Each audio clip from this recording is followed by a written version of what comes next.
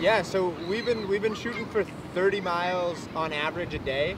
We were hoping to show up in uh, in Missoula yesterday, and we we hit right on our schedule, which was really exciting. And so we've you know we've been through kind of everything you could imagine as far as rivers go. Like at first it was inches deep and feet wide, where our canoe like could not make some of the turns. The canoe's the river's width is like less than half of the canoe's width, you know, length. So like walking the canoe at the first a lot, 15 miles of river walking, and then you know passing beaver dams, passing low streams, and just picking up more and more water on the day, on the way, excuse me. And uh, the really like exciting part is every day so far has been better than the last. You know, a little less miserable. Mhm. We do got some got some big uh, portages ahead still, but it's been nice to uh, get some water flowing behind us instead of uh, being really on the paddle and on the walking.